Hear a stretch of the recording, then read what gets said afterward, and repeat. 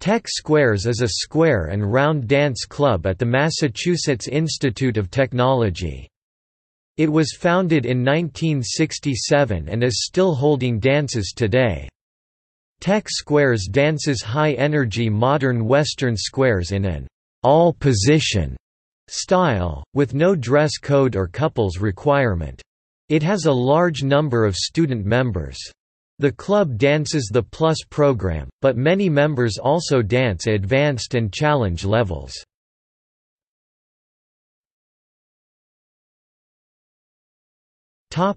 Significance Tech Squares is well known for doing difficult and ambitious choreography, and for having an achievement-oriented mindset. At a time when many modern Western square dance clubs are finding that the long learning time for a high degree of proficiency does not attract a sufficient number of newcomers to the activity, Tech Squares thrives on high proficiency dancers. This appears to be because it is in a college setting MIT, and is populated by college students and other like-minded people who derive gratification from learning new things. The technological orientation of these people may also mesh with the subject matter of sophisticated modern Western square dance choreography. A great many Tech Squares members dance proficiently at high advanced and challenge levels. The Tech Squares Beginners class, touted on its web page as, "...faster than any other class that we know of." Goes from zero to a reasonably rigorous plus program in 13 weeks.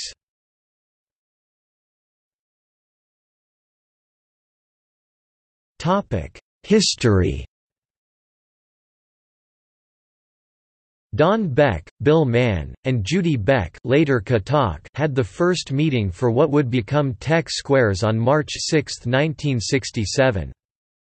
The group, part of the MIT Outing Club, was to dance the new Western style squares, not traditional square dance. Don Beck was to be the first caller.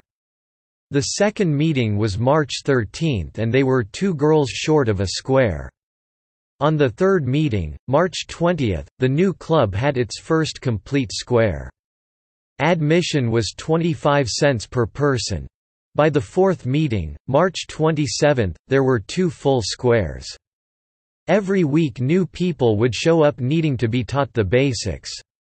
If the group was short a few dancers, scouts would be sent into the hallways of MIT to round up unsuspecting students to fill up the squares. In September 1968 Don Beck returned to school, and schoolwork eventually forced him to cut back on his calling. Sans caller, the group began to wane. The same month, Veronica McClure and an MIT freshman, Charles Hatvani, attended a traditional square dance that the Outing Club was holding as part of its introductory activities weekend. The caller, Tex Wilson, thought he had been invited to call a «Western» square dance, so he was happy to see Veronica and Charles come through the door in «Western» Attire. Later that school year, in 1969, Veronica and Charles organized the Square Dancers into a separate MIT club, made possible because Charles was a student. Tex had done such a good job calling for the MIT crowd that Veronica and Charles asked him to become the caller. Veronica was the club's first cuer, and designed the banner for the new club. The group danced with no name for some months and then chose the name Tech Squares. A 1969 ad in New England Square Dance Caller magazine announces Tech Square's first big dance. It offered a Ph.D. in square dancing from MIT, and the dance was a big hit. Dennis Marsh became club caller in 1970. Tired of teaching new people every week, Dennis ran the first crash course. This was before Callerlab had formed to standardize the curriculum, so Dennis decided which calls club members would be expected to know.